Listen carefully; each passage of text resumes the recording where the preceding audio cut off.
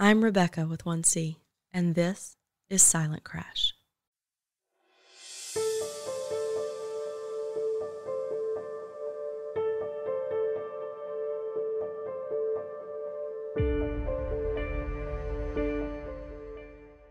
Every character in a story, real or imagined, has a motivation, a reason for doing what he or she does. Sometimes, often, really, there are multiple underlying motives at work. Humans rarely just do things to do them.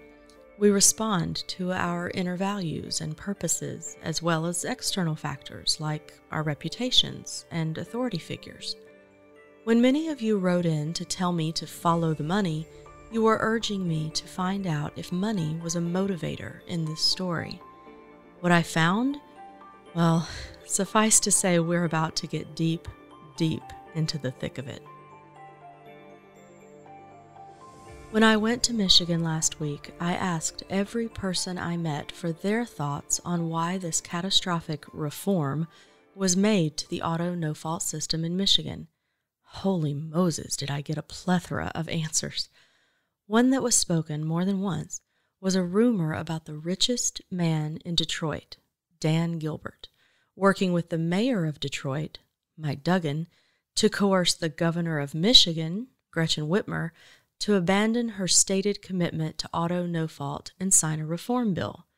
Now, I'll confess, I knew next to nothing about any of these people when I was told the rumor. I live in Florida and am from Tennessee. Dan Gilbert, Mike Duggan, and Gretchen Whitmer are not big public or social scene players in these states. There is truth, though, in a fresh set of eyes holding the possibility of bringing something new to the table. So I picked one of those names and started digging, mainly because of your suggestion and who he is. I dug into the money. And as I learned more and more about this man, I couldn't help but be reminded of another man I met while in Michigan, a very different man. In today's episode, I want to tell you about both of these two men. One is a businessman, a self made billionaire, a mover and shaker in a prominent Michigan city. Some call him a savior. Others have more colorful descriptors for him. The other man is a 19 year veteran who served this nation in multiple countries, executing covert missions before his motorcycle accident forced a medical discharge. If you're unfamiliar with the auto no fault laws in Michigan or the situation that led to the catastrophe currently happening and growing there, please pause this and jump back to episode 1 for details. Now, a quick ad break, and we'll get on with the story.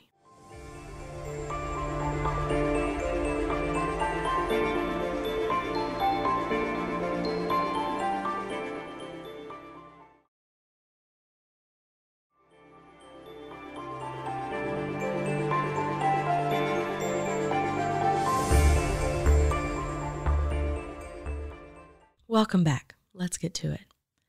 It's 2007. The final Harry Potter movie is releasing. Apple is introducing its newfangled gadget, the iPhone. Nancy Pelosi is elected as the first female Speaker of the U.S. House of Representatives. Rupert Murdoch is buying the Dow Jones and Company, making him owner of the Wall Street Journal. And Daniel Gilbert is approaching officials in Detroit about moving the headquarters of his company, Quicken Loans, to the city's crumbling downtown. Three years later, another of Gilbert's companies, Roscoe Development, signs its first development agreement with Detroit's Downtown Development Authority. It's for a historic property, the site of Hudson's, a department store started by Joseph Lowthian Hudson in 1881.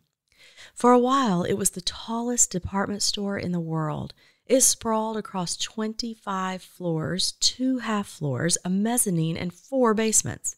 Its largest freight elevator could accommodate a semi trailer. This property was huge, and not just in size, but in its presence in Detroit history. Hudson's closed 90 years after it began, on January 17, 1983, due to the decline of Detroit. In 1998, its massive structure was imploded. As the Detroit News wrote, a symbol of glamour for three generations, a symbol of decay for another. The mammoth structure wobbled like a drunk, hesitated, then collapsed into a 60 foot high pile of rubble, coating downtown streets with a fine gray dust. Until Dan Gilbert came along. An important detail to know here is that Gilbert's agreement with the Downtown Development Authority required that he show proof of financing for his building intentions at the site. That would be paperwork from a bank loaning him the money, or paperwork showing his company had the assets to fund this big move. Keep that little detail in mind. For the next few years, Gilbert goes on a buying streak in Detroit. The media covers it every step of the way. This is the man who is going to turn Detroit around. He's going to build housing and commercial space. He'll draw everyone back. He's the man, the savior. Michigan's kid is giving back to Michigan. What got left out of so many stories I read was what Gilbert got out of all those deals. Sure, he could have been doing all this from an altruistic place of wanting to restore Detroit, or maybe he was a man making millions of dollars on development deals to grow his companies and enjoying his growing stature amongst the elite. It could have been either, could have been both. What we do know is that by 2017, only 10 years after Gilbert first approached Detroit officials about moving Quicken Loans downtown, he had acquired just under 100 properties totaling 16 million square feet in downtown Detroit. His net worth, according to Forbes, had ballooned to $5.8 billion. Dan Gilbert had become Mr. Detroit. Another of his companies, Bedrock, broke ground on the Hudson site in December 2017 with a projected completion date of 2023 and a $900 million price tag. Mike Duggan, the mayor of Detroit, was by Gilbert's side at the groundbreaking, a giant smile on his face. A month later, the announcement was made that the county gave Dan Gilbert a property he had long prized. It's called the jail fail land because it was supposed to be the site of a jail. But cost overruns and delays had caused the project to be abandoned. It sat as an eyesore for several years. Gilbert thought it was too prominent of a place for a jail in the first place and made a bid for the land. He reportedly thought a soccer stadium could work well there. Shortly after making his offer for the land, the media carried the story that Gilbert didn't have to buy it to acquire it after all. He just had to agree to build a jail for the county elsewhere, and they'd give him the failed jail site.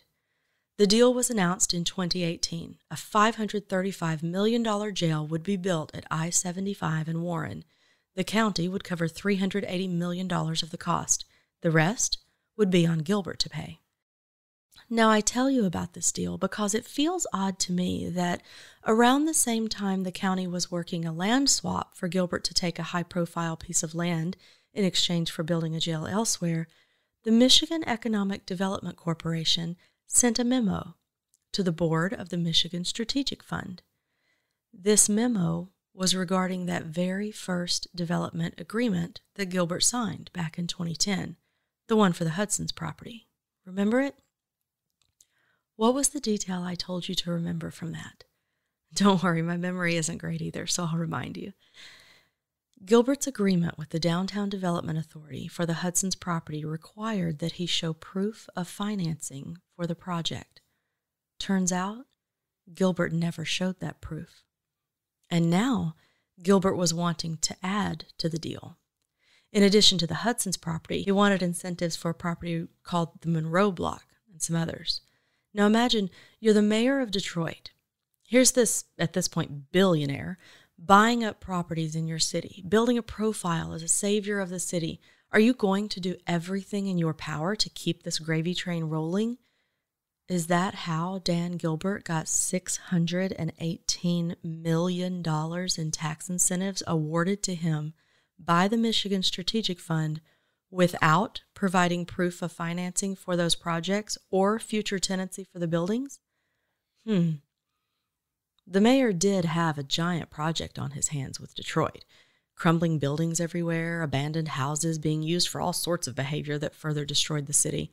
I can see how and why he would be thankful to have someone like Dan Gilbert in his corner, helping to turn the city around. The mayor's city also had literally the highest auto insurance premiums in the entire United States. You know, it's often said that insurance premiums in Michigan were the reason for the reform legislation. But Senator McMorrow did the research on this, and she has shared it. Most of Michigan was paying right about the middle of the road average compared to the rest of the country. Only Detroit and a couple of other low income, crime ridden areas in the state were subjected to these exorbitant insurance premiums. That's important the insurance premium problem existed in Detroit, not in Michigan as a whole. But according to what I was told, the mayor saw it as a Michigan problem, and he enlisted Dan Gilbert in a quest to address it. Now, look, I don't know if that is true, but I told you from the start that I'm working to uncover how and why this awful PA 21 and PA 22 were passed. Part of that is telling you what I've found so far. Your feedback, ideas, and leads help me get closer and closer to the truth unfolding underneath all of this. So, all I can do is tell you the theories I have heard and what I've found so far. When I was told that Dan Gilbert, a man who is known to lean Republican, joined up with Detroit's Mayor Mike Duggan, a Democrat, I immediately asked, why? Why would Dan Gilbert do that? Was it because he needed the mayor to push through tax incentives on his projects, projects he did not show proof of financing for? Dennis Bernard, who is president of the Bernard Financial Group of Southfield in Detroit, told the Detroit Free Press that the Hudson's and Monroe Block projects couldn't be done without tax credits. Quote, This couldn't have happened without the state, he said. Construction costs are so high, and our rents are not there yet. End quote. So Gilbert needed those $618 million in tax incentives that he got, and he didn't get them by providing the documents that were required. So, how did he get them? And around the same time, also get a land swap deal that gave him a piece of land he'd coveted. Was it a relationship with the mayor? And what was expected of Gilbert after those tax incentives and land swap deal were awarded? I don't know. Here's what I was told. And again, I don't know if this actually happened. I was told that Gilbert and Mike Duggan went to Governor Whitmer. Remember, she's a Democrat who ran on a slogan of fix the damn roads. Now she needed funding to fulfill that promise, and she was working with both a House and a Senate whose majorities were Republican. Remember, too, that she had always steadfastly stated her commitment to not changing the auto no fault program, to protecting the people whose lives depended on it. Remember, too, that Duggan wants insurance premiums to come down in Detroit, and that on May 7th, 2019, the Michigan State Senate passed a bill reforming the auto no fault program. The bill was now headed to the Michigan House of Representatives. The Senate passed it on May 7th. It's now headed to the House. If the House did the required three readings and passed it, the decision to sign or veto would land on the governor's desk. On May 16th, nine days later, the House conducted the first reading of the bill. Remember, three readings of a bill are required before a vote on whether to pass it can be made. On that day, the bill was referred for a second reading. Weirdly, the second reading did not happen for eight more days. What was happening in those eight days? Was that when Gilbert and Duggan went to Governor Whitmer with a plan? I was told they presented her with a deal of sorts. Sign the legislation the Republicans were putting forward to reform auto no fault. If you don't, Gilbert will put his considerable wealth toward a media blitz to convince Michigan citizens that auto no fault is the worst thing ever for them and needs to go away entirely. He'll also make sure your rival has plenty of funding come election day again. If you do this, though, if you go along with this and sign it, Gilbert will use his wealth to persuade the existing Republican legislature to fund your road fixes. So the governor can either go along with this, save what she can of auto no fault rather than let Gilbert's money convince everybody to tank it altogether, and get the money to fix the roads, or not. Now, this scenario has been given to me by more than one person.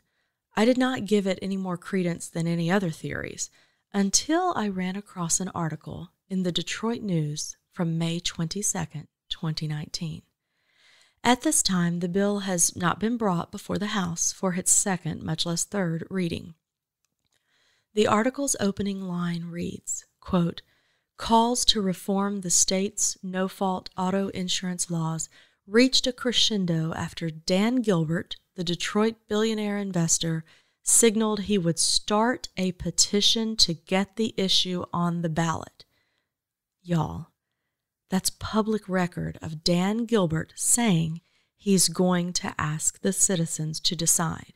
Now, why would he feel confident doing that? The citizens had been asked if they wanted to change auto no fault before, twice, and they voted overwhelmingly to keep the legislature's mitts off of it. That's public record. Why did Gilbert see a citizen vote as something that would go his way now? This is where my fresh eyes might add something to this mix. I'm in Florida. We used to have a big tax incentive program in place for film and television production here. Let's say you were going to shoot a million dollar movie here. The state's program would award you up to 30% of that cost in tax incentives. That meant a producer only needed to raise $700,000 to make the movie, not a million.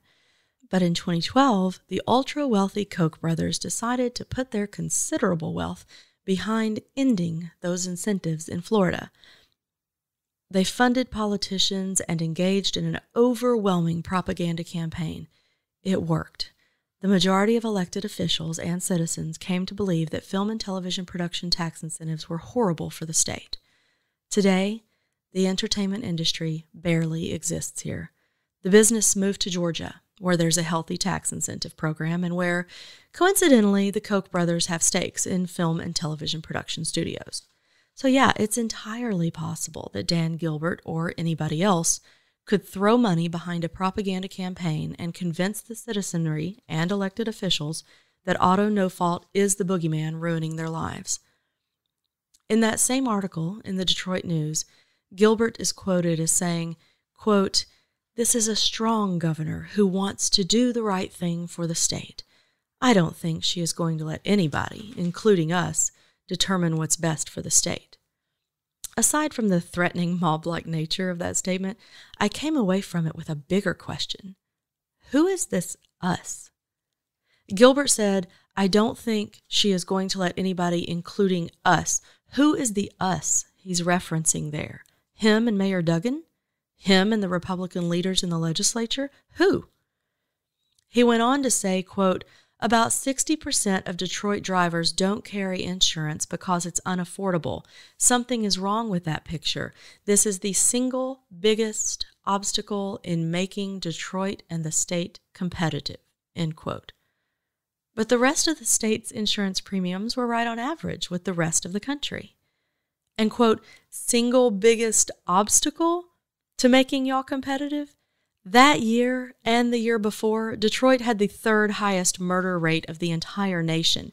You think people weren't moving to Detroit because of car insurance premiums?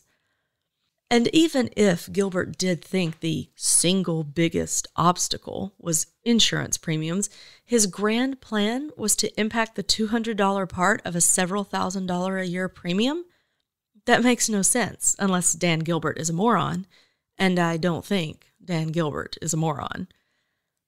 Neither did State Representative Sherry Gay Dagnogo, who said, quote, if he, Dan Gilbert, if he's truly interested in addressing the root causes of high rates in Detroit, assist with convening a task force which encompasses Democrats, Republicans, and every other stakeholder to get a compromise deal.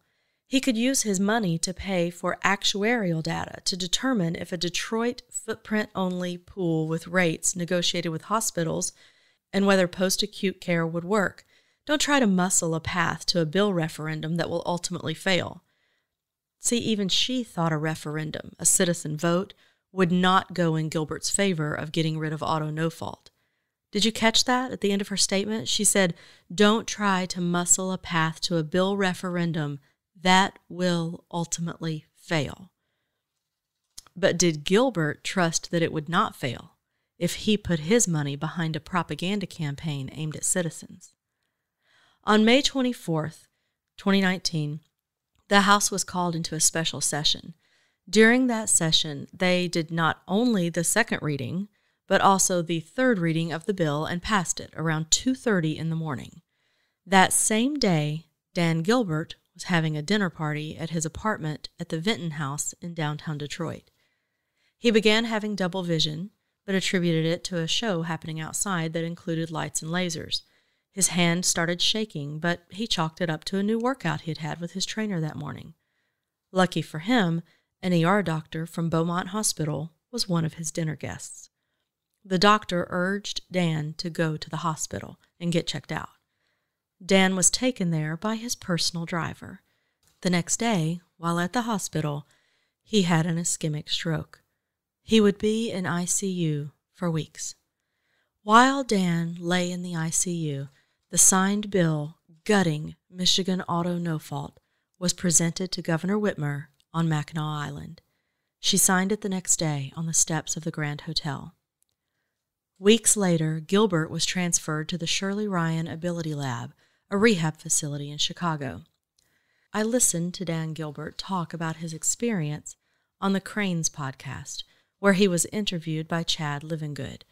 Jay Farner, CEO of Quicken Loans, and Aaron Walker, Chief Communications Officer of Gilbert's development company, Rock Ventures, hovered nearby during the interview, occasionally correcting or restating some of Gilbert's statements. In the interview, Gilbert spoke of wanting to have a state of the art facility like the Shirley Ryan Ability Lab in downtown Detroit. He said, quote, And I have the fortunate situation of having resources. I start thinking about imagining people who just don't have any of these resources. What do they do? I mean, insurance does not usually cover most of the rehab from a stroke, maybe some of it, but not most of it. End quote. And I nearly fell out of my chair. Is he serious? The man who is rumored to have used his considerable wealth and influence to destroy the system that people paid into and that was meeting their medical needs at every turn in every way is now noting how important insurance is to rehabilitative care and wondering aloud what people do who don't have resources like he does? But Gilbert did not stop there in apparent blissful ignorance. He wanted to make sure to give respect to nurses, saying, quote, I have no idea what they get paid, but I'm certain they're underpaid because you can't pay them enough. They're just incredible people. I mean, none of us would do for 20 minutes what they do nine hours a day every day of the week. End quote. Are you serious, sir? Before the changes you helped push through, nurses and home health attendants and home caregivers were being paid for every hour they worked to do those thankless tasks of which you are apparently now aware. You reportedly used your wealth and influence to cut their pay by 45% for outside hired ones and from unlimited hours to eight hours a day for one person for the others. The whole system's gone belly up. 23 year olds are being shuffled into nursing homes. Others are losing their homes entirely and living on the streets. Nurses are out of work. The businesses that employed them have been forced to shut their doors. And now you say that, quote, you can't pay them enough. They're just incredible people. Do you hear yourself, sir? But he didn't stop there either. He kept talking. And bless you, Chad Livengood, because if you'd stopped him, we may never have known what he admitted next. Dan Gilbert said, quote, I don't know if it, he's talking about his experience of having a stroke and going through the rehab system. That's the it. I don't know if it taught me anything about the economics of it, because I didn't really pay much attention to or worry about the insurance. I mean, why would you? Like you said, you have resources. But 18,000 car accident survivors in your state relied on the insurance they bought. They are not billionaires or even millionaires. They are hardworking people who paid their insurance premiums every year and found themselves in the horrific position of needing to use the benefits for which they paid. Benefits that are now gone because of, in large part, you, Mr. Gilbert. Take, for instance, the 10 year old girl right there in Detroit, the city you purport to love. She is having to catheterize her own father every day, Dan Gilbert, every day, because the home health aide couldn't afford to stay after you championed a 45% cut in their pay. You've been in the healthcare system now, so you know what a catheter is. That little 10 year old girl is having to see things she shouldn't see. And she has to worry that if she doesn't do it right, the complications could lead to her dad's death. She has to do that because you helped get her dad's care cut. Care that was covered by a fund with more than enough money, $23 billion, to continue for years. Michigan had a system to prevent this very atrocity from occurring the Auto No Fault Fund. And yet, a billionaire came along and destroyed the system so now that Detroit man's little girl has to catheterize him every day to keep him alive. This is what you have wrought, Mr. Gilbert. So, did you come to Detroit back in 2007 with an honest to goodness altruistic intent? Did you just want to revitalize the city? Or did you come to make money and be in the elite? As I speak, Forbes values Mr. Gilbert's wealth at $31.7 billion. You did not need access to the $23 billion in the MCCA fund, the money that Michigan drivers paid in case they needed major care due to a catastrophic car accident one day. You didn't need their money. Why did you get involved here, Mr. Gilbert? Was it a favor to your friend, the mayor? Was it a thank you for his help in getting those hundreds of millions in tax incentives for your downtown projects? Was it just fun to have amassed the wealth and power to be able to manipulate a governor and therefore impact an entire state? What was it to you? I don't know those answers, but I do know what your actions wrought in others' lives. Let me introduce you to another man, dear listener. And Mr. Gilbert, if you're listening, you'll want to hear this next part too. Uh, Laszlo Szalai. I live in Brighton, Michigan, and I'm 55 years old. Laszlo is a veteran. I joined in uh, July of 85. I served in Nicaragua, Honduras. I had served in the Gulf War, the first, and then I worked for the government from 95, 94, 5, 6 in Iraq. Then I went to Bosnia, back to Afghanistan in the early years of 2000, 99 to 2000. And then, as I hear from every patient or caregiver I meet, one instant changed Laszlo's life forever. May 13th, 2012. I was on a motorcycle and was hit by a vehicle. Laszlo suffered multiple injuries.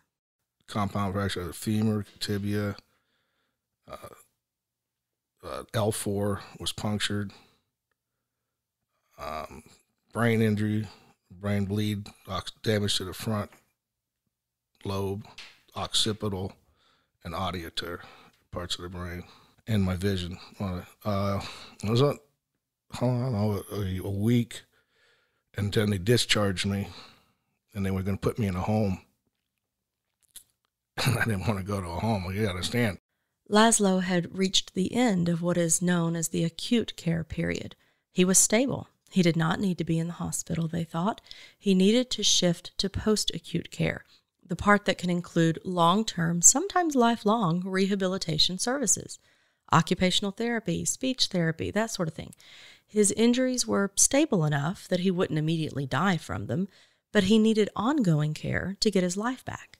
And he would need help not only from people who provide that care, but also people who could drive him to that care and see to his needs in the meantime. Up until that time, I was a functioning, well functioning individual on my own. Then they tell me I have to go to a nursing home. I refused. That's when my friend stepped in because I don't have a family members here. I, I'm Candy Cutie. I live in Brighton, Michigan, and I'm 63. Candy was Laszlo's neighbor and So friend I at got the a phone time. call, and he didn't have any family in the state. He couldn't drive. And initially, we had no idea the injury was as bad as it was. Candy, a special education teacher at the time of Laszlo's accident, thought she was just stepping in to help a friend and neighbor out for a little while. We didn't know But that he had then- a brain injury. I knew his speech was off, and what they told me is it was the medication. Don't worry about it. And one of the doctors came in and said they missed a brain bleed and told me what to watch for. When I brought that to the attention, they just kind of blew it off. So it wasn't until it gradually more and more started happening. We he, a few months later we noticed he started twisting his arm, and I mentioned it to his one doctor. I would back up first. His chiropractor was the one who referred us to a neuropsychologist, and he told him, "I'm sure there's nothing wrong with you, but just for your own peace of mind." Well, he knew better. Oh, thank goodness. Um, but that was a way to get him there. And he was like looking at me on the side and talking about his speech being off and said, you know, something's wrong here. And that was when the brain injury was diagnosed. And after a few months, we started noticing he would talk and he would like stop midway or he would twist his arm a certain way. And when I mentioned that to Dr. Terry, he asked me to make the movement again. I just did it automatically, repeating what he said. And he said, That's the start of seizures. And then he started having freezing seizures. So we knew then he couldn't drive. He wanted to go back to work so bad. He taught at both high school and college. We knew he could not go back to the college. He was swearing and didn't realize it. He could get explosive. I smile hearing this part. Laszlo reminds me of my brother in law, Randall Ricketts. Randall, too, was a war vet who served in the Middle East. He developed a glioblastoma multiforme, the worst kind of brain cancer. The brain surgeries and treatments left him prone to bouts of anger and outburst. But at the college level, you don't have to keep track of how many tardies and contact the parents and, you know, worry about swearing. And the program he had was ex cons. So the college, yeah, exactly. And the college allowed me to be on site and I helped him with his planning. So I took an early retirement. You heard that right. Candy, who thought she was just coming in to help Laszlo for a brief period of recovery, recognized that he would need long term help and took an early retirement from her job. Remember that the MCCA fund before the reform paid friends and family an hourly fee for the time they spent helping patients at home. It was a recognition that the time was valuable and the person was giving something up to provide this care. In Candy's case, she gave up her seniority as a teacher, her teacher's salary, and all the insurance and retirement benefits that came with and grew every year she performed that job. I was so surprised to encounter this kind of kindness and generosity that I asked Candy to clarify. So you took an early retirement from being a special ed teacher to, so that he could stay in the college Correct. classroom teaching. and to get him to his appointments. And the college he went to was part time, so I could get him to his therapies in between classes or on different days because he only taught two days a week. But it ended up not working out. Um, and, and he wasn't able to work after that. And what year was that?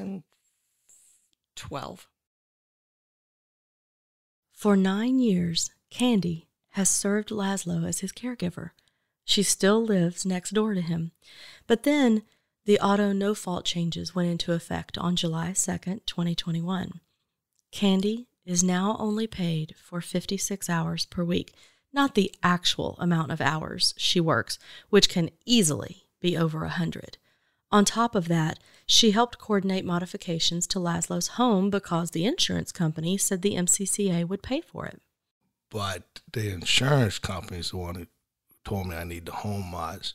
They sent twice their own people out to evaluate, and then they promise.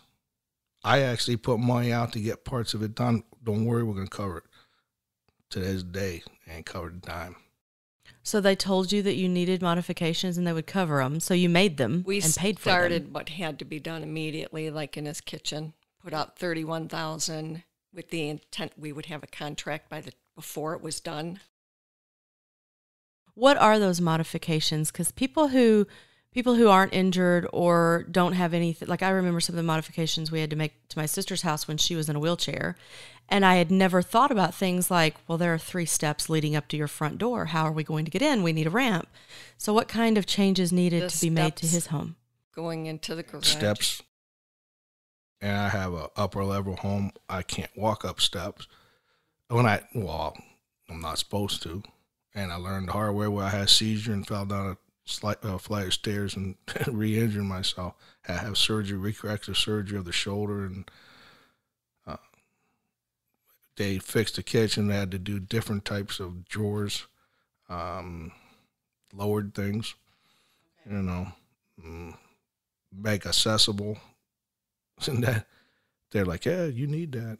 Then they say, oh, he you need needs non, this. like non-slip floors in the bathroom. The bathroom needs to be rearranged because he has glass shower doors that he can go through.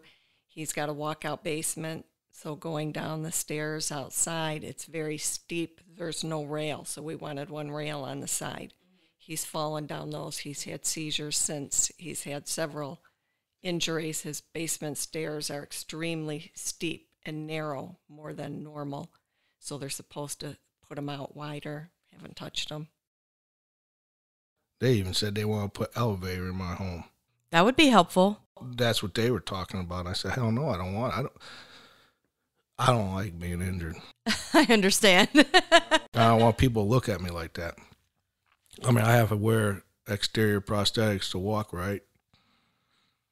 Um, and beginning, like people look at me and they're like, "What the hell is wrong with him? Ain't not wrong with him." Unless you see my my scars and all that that are covered, but I was tested multiple times by the by the CIA when I was working with them. My intelligence, because last time I was in a room like this, mm-hmm. I was being interviewed for my to be transferred into the CIA from the Marine Corps. wow. It's weird. Welcome to a different day. My IQ averaged between 140 and 143. My IQ dropped down to 99. And people, oh, but you're still I'm not normal to me. You look at how you thought and how you talk and how you interpret things, and then you drop that 40 points. Most human beings that's walked this earth would be at borderline what they call well, retard station, you know. I mean, you're, you're 60s because most people are 100, 105. Well, I feel like that. I don't see things. I used to be able to do math, calculus without a calculator. People knew it. I mean, it's not like I'm making it up. Now, I can't even use a calculator because I got to figure out how to use the formulas on a calculator. I can't remember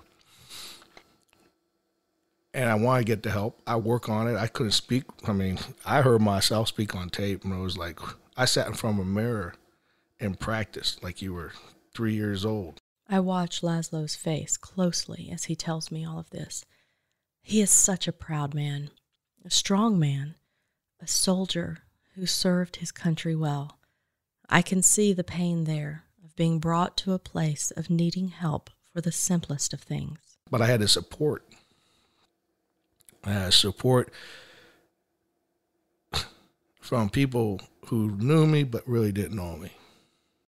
Laszlo is talking about a group of fellow vets who rallied around him to help.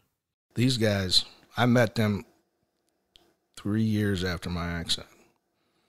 And they start helping me out. You know, Candace was doing everything doctors, my home, helping around. I mean, doing the stuff that needed to be around at home because I couldn't walk right. Couldn't pick stuff up. Then I have multiple surgeries on the shoulders, replacing shoulders already, both shoulders. Uh, lost a hand, a finger in my hand because my hands don't work right.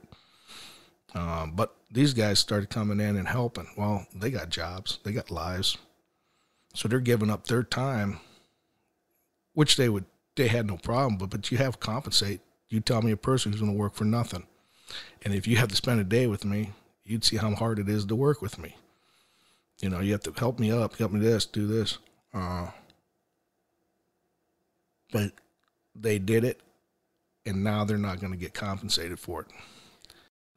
Why is that, Candace? Have they given you a reason why those vets can't be covered under that? We're talking about the portion of the law that changed that limits everything to 56 hours now instead of as much care as you need, as much attendant care as you need. But I'm a little confused because I thought as long as the people didn't know you before your injury, then they still qualified underneath the reimbursement portion of the new law. But I guess is this running into the 56 hour limit? Are there not enough hours left in the day to be able to reimburse he has the vet? a script for 24/7 care due to Okay. explosiveness, falls, poor choices, seizures. He has multiple seizures a month. So they're saying family can only do 56. So they will only they consider me family. So they will only pay me 56. They said we have to hire agencies after that. I've called 66 agencies. There's nobody to take on auto now. Even if they do, he's really not a candidate due to his schedule. Um, and also, he goes out of state a lot. They won't go out of state. We do have this core group that are all veterans or veteran support. So they've stepped up now to take over the extra 16 hours a day that I can't do, that the uh, auto won't allow me to do. They are not a family member. They did not know him prior to his accident. And what's the third one? That's right. Uh, friend. they're, Uh, oh, you don't live with them. I thought it was. You don't live with them. Oh, yeah. So they should. Anita Fox from DIFS, she put out a bulletin that said anybody other than one of those three can do the care. Doesn't have to be an agency. So I submitted for last month and just found out yesterday that the insurance is not going to pay over 56 hours for him. So they are somehow being included in the 56 hour limit, even though they're they're not in one of the three categories. They're they're not a family or friend. They didn't know him before the accident, Correct. and they don't live with him. Correct. But they're saying we have to get an agency, and they know agencies aren't out there, and they are aware I have contacted 66 agencies. That's such an important point when people like Anita Fox say, "Well, your benefits haven't been cut. Well, well, you can still get your care. You can still get the services." Well, you no, you can't. Not if they're all going out of business because you're not paying them. You called how many agencies? And they're all nobody can take on anybody else. And let's look at what they say agencies, right? Every one of the veterans that helped me were either combat, they worked as medics, they were trained in the, in the field afterwards as paramedics or firefighters that had first responder and first aid care. Every one of them. These folks are going to come to my home. I don't know about that. I have paraplegic friends. I have para, uh, uh, uh, quads who have those people in their home right now. He's making a point I've heard from others. They had friends, family, neighbors, people they trusted to provide care that involved seeing them at their most vulnerable. So you've got your chosen group. You want your fellow vets to help you. Your fellow vets want to help you. Just want the program to work the way it's supposed to, where they get reimbursed. They care about me. And remember, Laszlo is still mobile and he can still think quite well. He wants to live his life. That includes things like going hunting. Um, when I've called agencies, I've also asked, well, what happens about hunting? How does he get, you know, you send somebody out. At times he's out in the woods at 4.30 in the morning Well, if he has to hire a transportation company, they can't transport him out at 4:30 in the morning. They're not going to wait and transport a dead deer back with them. I'm sure, you know. I just had a mental image of that of somebody in scrubs trying to help you transport. but they also have to they also have to understand they have to be in a in a in a blind with me they don't just leave me there i'm not alone you see this 24 7 there's somebody with me in case you have a seizure. yeah What happens when you have a seizure? If I can be really Well, well, invasive I in your have life. i have a um violent um grand mal seizures now so you shake, you Well, fall I down. bounce around they say He drops like dead weight to the ground. I'm 263 pounds. I hit the concrete. I've messed up my face, my arms, my hands, my hips. I mean, I've I've injuries, not just a seizure. I had injuries at times. And then you know, let's just go to the other part. You start having a seizure, and then people just start standing around. My friends, they block that. You think you're gonna be laying on the ground and you you urinate yourself on yourself, you defecate on yourself. These guys don't look. Oh no, no, they treat me like a human being. They're like, okay, let's go. Mm-hmm. They get me up. They get me out of there. They keep the people from staring at you. That ain't gonna happen when you got. I had firefighters taking, you know, put up um, EMTs come. They don't push the people away. They're like, hey, back up, but the people still stand there. These guys stop it. They treat me. They don't treat me different either. You're from strong stock. Yeah. I mean, there are a lot of people that would say, "Well, I could have a seizure at any moment, so I'm just going to stay home all day every day." And you're like, "Let me go hunting. I'm good. Mm-hmm. Let me go live my life. Let me go speak." I don't want to be. I see too many people sit and their lives are, and you know what's going to happen is because of this, I can't go out as much as I like. I can't go do what I want to do all the time. Can you imagine? You want an ice cream cone, and you got to hope that you can get the ride there. Now, I did before, but now you're gonna call. You know, I need a transfer to take me to the grocery store. I need a transfer to take me to the ice cream store. You imagine that? Put yourself in that shoe. And now they're telling me I can't even get the help. If, if I can back up just a minute on the, the seizures when you were mentioning it and with the friends and, mm-hmm. and what happens, frequently now this has become our core group. So he's not with one or with just me. It's we're frequently the group of us together. So he has a seizure. You've got a whole bunch of us here helping him out. And one example, he was, um, what do you call that? The MC thing at the Hamburg Moving Wall. Oh, I was I was uh, um, the guest speaker, the honoree, the speaker. No, you were the one running it. right? Yeah, the MC. The MC. Okay. Yeah. So, without my knowledge, they told me at the very end, this group, they had already figured out, positioned themselves all in different areas, and had me right in the front while he was up speaking and already had a plan in place. So, if he had a seizure, who was going to start blocking the stage, who was going to block for me, who was going to jump up and take over the speaker and start talking to draw attention away from it. So when we showed up, they told me, Candy, we've already got a plan in place. Wow. This was before we were doing stuff. This was just how we work cohesively. And now they want to take that away. And they've already told us they will not allow strangers from an agency to join them at the Friday morning breakfast. During COVID, we were in one, one of the guys' garages. They said, We're not going to have a stranger coming in here Makes sense. and, and, and sitting in. We don't know who they are or what they do, what their belief systems are. Mm-hmm. And what we talk about. we share stuff.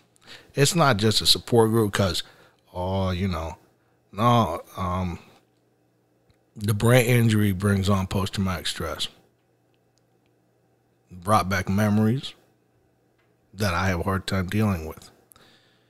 They knew it, and the first two years after my accident, when I couldn't walk right, they told me, "Hey, you ain't gonna walk like you used to. You're not gonna be a talker like you used to. You can't do what you used to do. I couldn't go to work. I can't do this."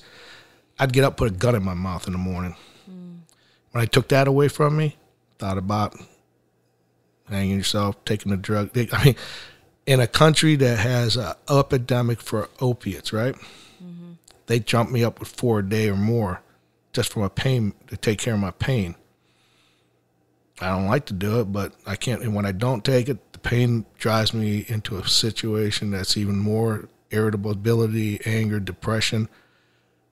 The only thing that saved me at that time is I didn't want Candace, who is, is an angel because she never asked for anything. She helps me with everything, even with my, my ignorant siblings, everything. And uh, I didn't want her to find me there. Now, when this is all gone, my biggest fear that I work with my docs, well, I got nobody that's going to come and find me now.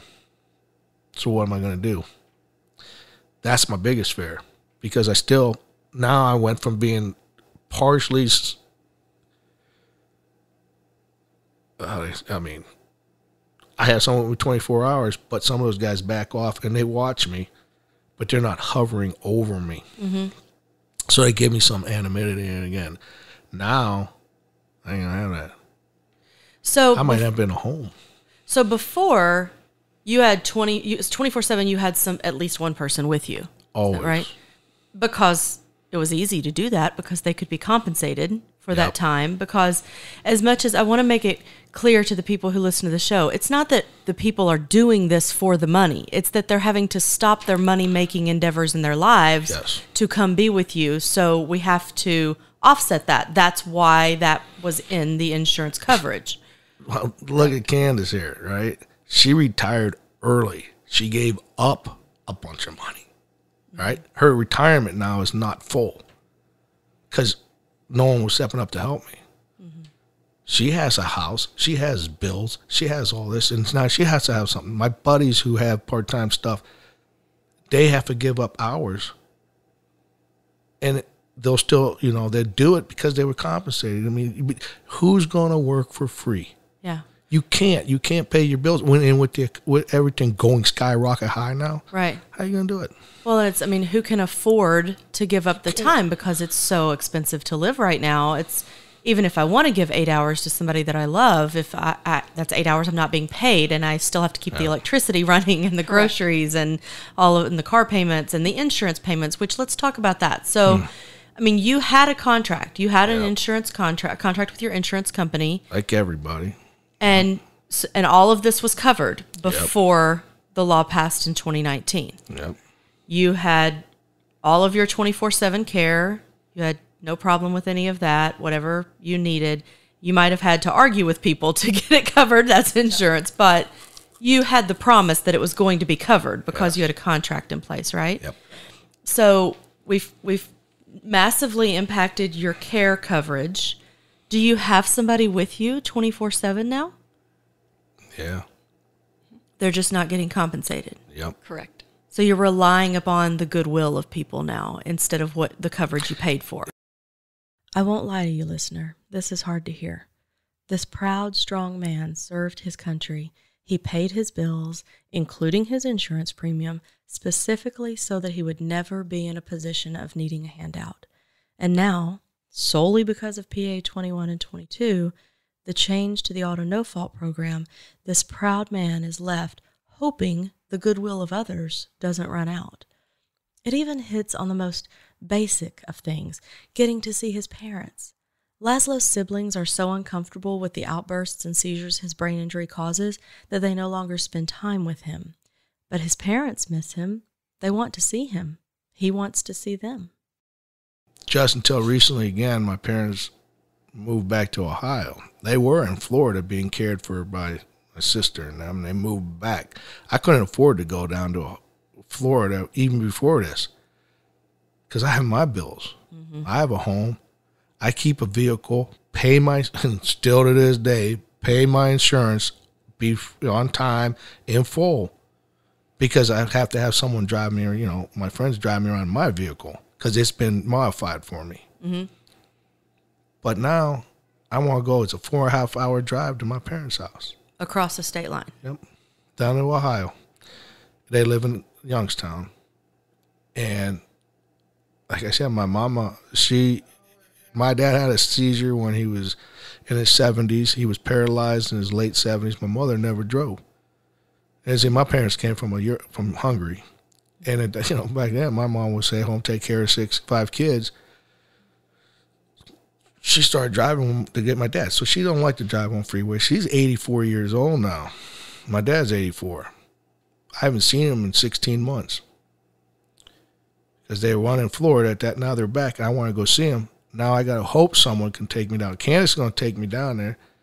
It's gonna cost her time. Someone's got to do this, but she's gonna do it. I can't hire an agency to drive me down there. But I'm not going to get paid. No, she's not going to get paid, They're only going to pay 56 hours. which she's almost at right now. And It's Thursday. So- I've reached out to them and they just said I'm cut at 56. So 56 hours, if it's a four and a half hour drive, 56 hours is eight hours a day.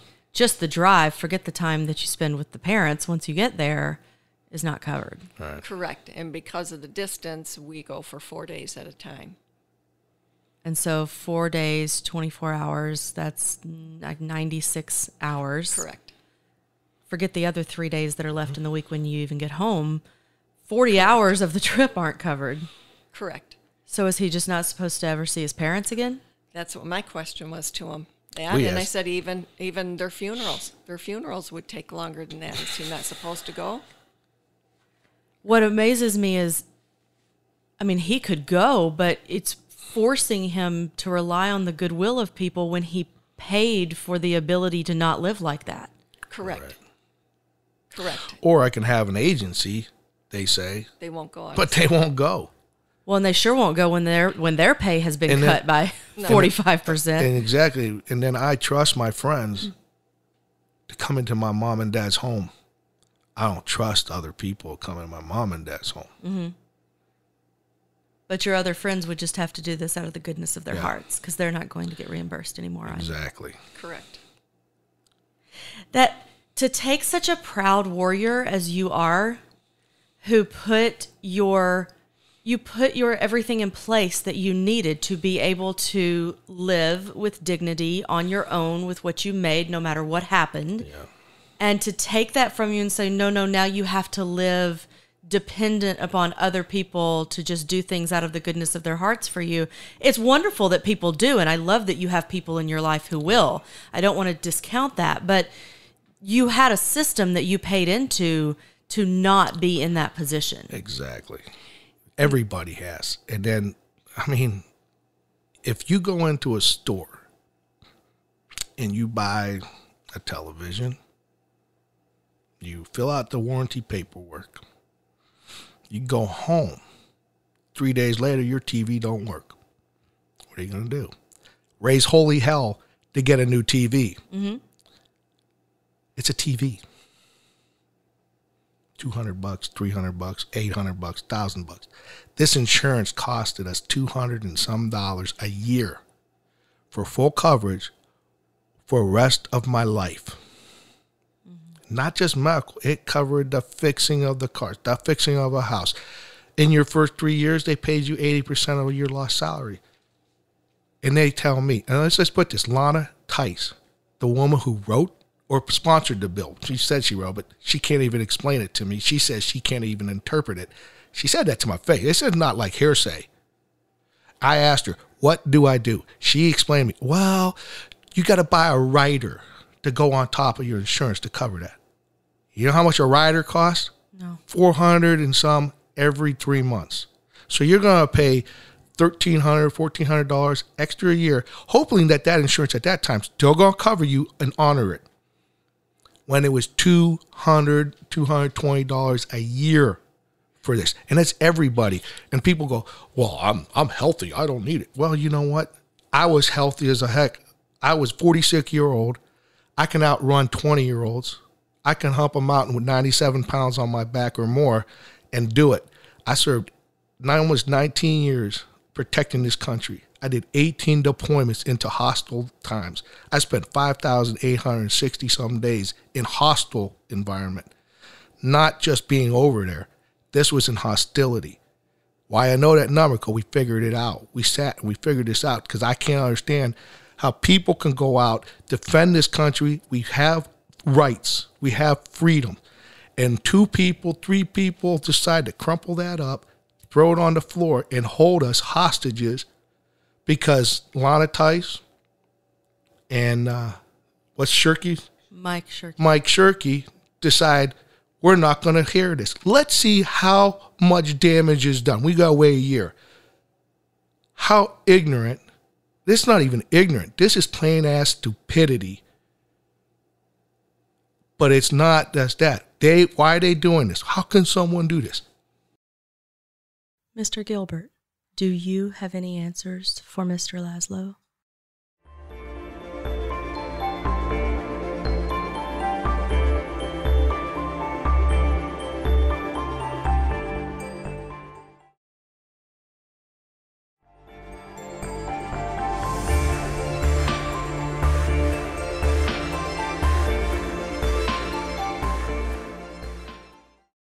So, two men.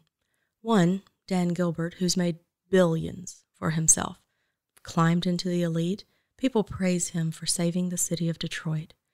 But people in that very city are hurting because of him. A 10 year old little girl, probably many more I haven't yet met. And that very city awarded him hundreds of millions of dollars to build those properties, money without which the experts say those projects could never have been done. He says nurses don't get paid enough. He says he, quote, didn't really pay much attention to or worry about the insurance, end quote, or even realize how insurance doesn't cover post acute care before having a stroke and experiencing his own need for rehabilitation. But if he realizes how important all of this is now, why is he doing nothing to fix the problem he helped create? Why is Mr. Laszlo still suffering?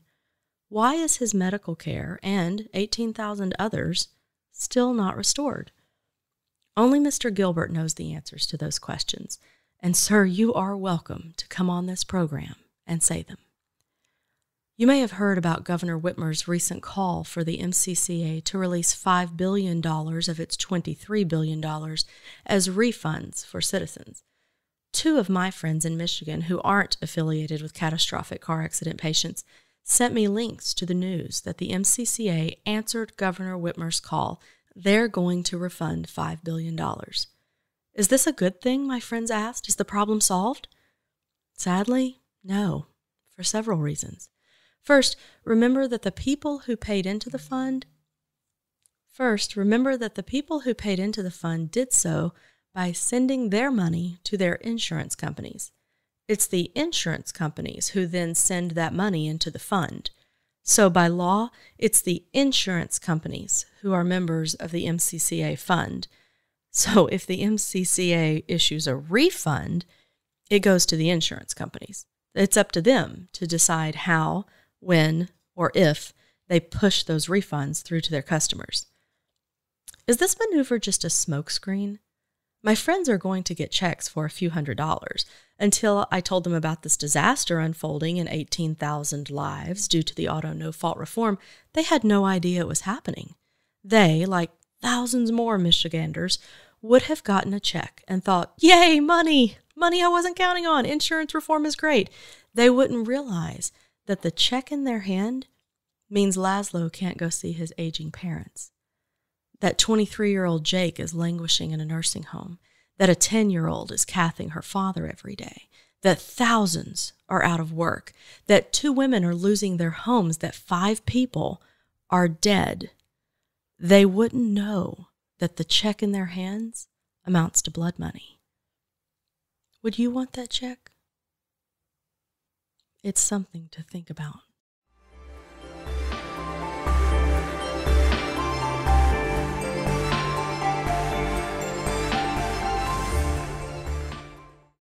All of us here at Silent Crash are grateful for your listening support. The more people who listen and follow, the higher the ratings climb. And high ratings tell the legislature and governor that their actions are known. That's a powerful motivator. Also, when we reach a certain threshold of listeners, the show will bring in enough advertising revenue to pay for its production. Until that happens, though, we are reliant upon a GoFundMe campaign to offset the costs of production. The irony is that the people we're making this show to help, those catastrophic car accident patients, are not the people who can financially support this show because they're now struggling to keep their medical care going. But this show also benefits every Michigander with car insurance. Your promise of lifelong medical care in the event of a catastrophic car accident is impacted too. If you go out and, God forbid, have a car accident today, you'll be hard pressed to find caregivers who can work at 55% of their pay, and your family won't be compensated beyond one person, eight hours a day, for quitting their jobs to take care of you. This affects all of Michigan's drivers. If you can, please give to the Silent Crash GoFundMe effort so that we can keep telling these stories and so that I can keep digging into the why behind this mess and hopefully turn it around. You can find a link on the Silent Crash Facebook page or on our website, silentcrash.net. Thank you for listening.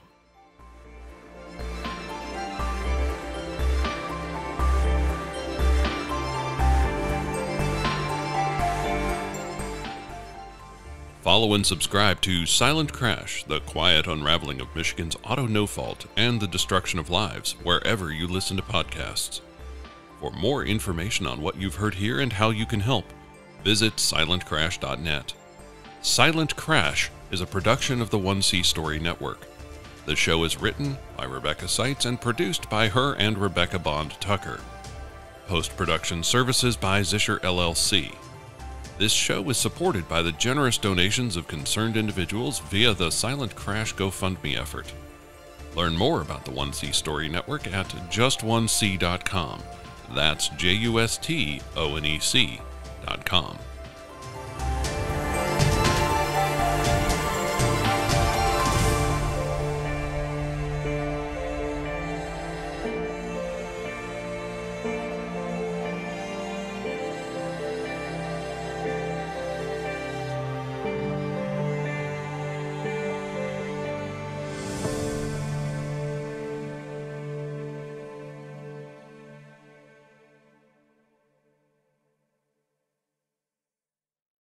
The One C Story Network for the love of stories.